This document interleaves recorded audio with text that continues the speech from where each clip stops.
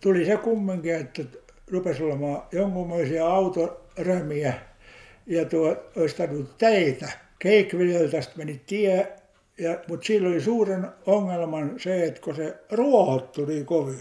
Semmoinen Jussi Salo oli tuota tiehoitokunnan puheenjohtaja ja se melkein joka pyhä aamu pyöräili meillä kotiin ja, ja ne pohti isä kanssa, että milloin saataisiin ruohot pois siitä tieltä. Oliko hän tuossa Lahtosella? Joo, Lahtosen entinen pehtori. Muista. Oliko se kunnan hoitama tie? Ei, se oli yksiköity tie, mm. tiekunta. Ja tuo, mm. Joo.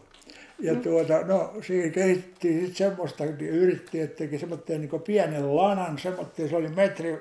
ehkä pitkä ja kaksi terää ja sitten se pistettiin kättinkillä että akseliin kiinni ja hevonen mm. vetämään ja äijä seisoi siinä lana päällä ja, ja tuota, sillä ajeltiin edes takaisin, mutta kyllä se yleensä vaan semmoinen hankki oli, että kavioura ja kaksi pyörtä, pyörin jälkeen. Mm. se on semmoinen. Niin. No sitten se kehittyi sen verran, kun rupesi autoja tulemaan, että sitten ruvettiin sitä sorastamaan talkoilla sillä lailla, että se oli tämmöinen joku kuorma-auto, mikä tilattiin ja siitä otettiin laidat pois ja se monttu, joka on siinä Keiköletien alkupäässä siinä, se on niin kuin käsi kaivettu suuremmaksi osaksi heitettiin, se oli 10-15 miestä oli heitteli lapiolla siihen kuormaan ja sitten lähdettiin pikkuhiljaa ajamaan pitkin tietä ja lapiolla pistettiin aina kuoppakohtiin tavaraa. Mm-hmm. Sillaista hoideltiin sitten. Mm-hmm. No sitten tuli semmoinen ajatus, kun, kun tuota, tämä karjapito ja lypsykarjapito niin lisääntyi, että tarvitsisi saada jollakin lailla parempaakin kulkua ja sitten tuota Mustalahden tietä ruvettiin ja parantamaan.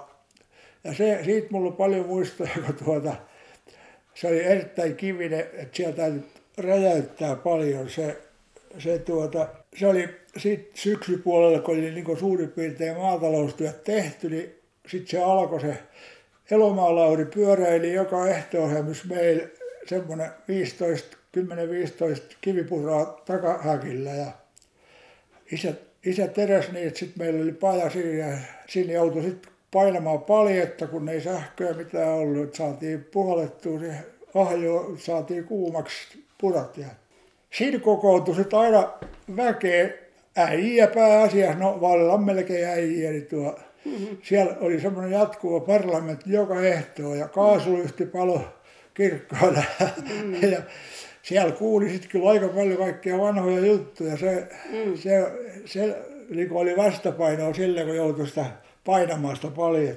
Se oli semmoinen kova homma. Ja no sitten kun se, sit se huomattiin, että sitten se pätkä meiltä Haapasaloa ja Kuusikariin, niin se on niin kuin, täytyisi saada auki, niin saataisiin semmoinen lenkki, mitä maitoauto voisi kulkea. Ja siitä ruvettiin sitten sitä puuhaamaan ja siinä oli olemassa semmoinen vanha päätös siitä tiestä. Se oli aikoinaan haettu Keikveden tie Haapasaloon asti, mutta tuo Haapasalo isännät ja minun isäni oli päättänyt, että se on liian raskas, kun siitä tulee niin suurimmaksi osaksi niin heille, heille osuudelle se tekeminen. Ja se oli jäänyt niin tekemättä, mutta kyllä siinä semmoinen kärrypolku oli, että, että siinä kun oikein tarkasti ajoi, niin pääsi pääsi tuota, mutta sen aikaisella Ford-hommalla, niin siinä Haapasalo, Haapasalossa oli auto silloin jo, mutta en mä tiedä, kyllä aika vähän taisi se liikenne niin olla. Että... Sehän oli kunnan hoidossa olevia teitä. No se on sitten, kato se, mm. sitten se saatiin painostettua sillä lailla, että kunta otti se haltuunsa. Ei se juridisesti ole kunnatia ollut koskaan, aika vieläkään. No sitten tietysti se saatiin Rantaselkä maita-auto rupesi kulkemaan ja se lähti vissiin kuuden aikaa täältä kylästä ja heitti sen mm. lenkin. Ja mm. mä laskin tällä yhtäkkiä, että sillä lenkillä oli 27 maidon lähettäjää.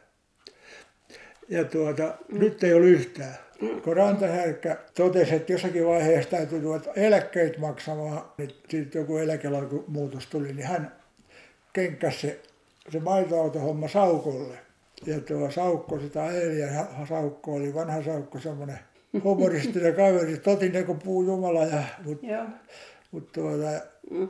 hän moitti aina tietä, että tie on huonossa kunnossa. Mm.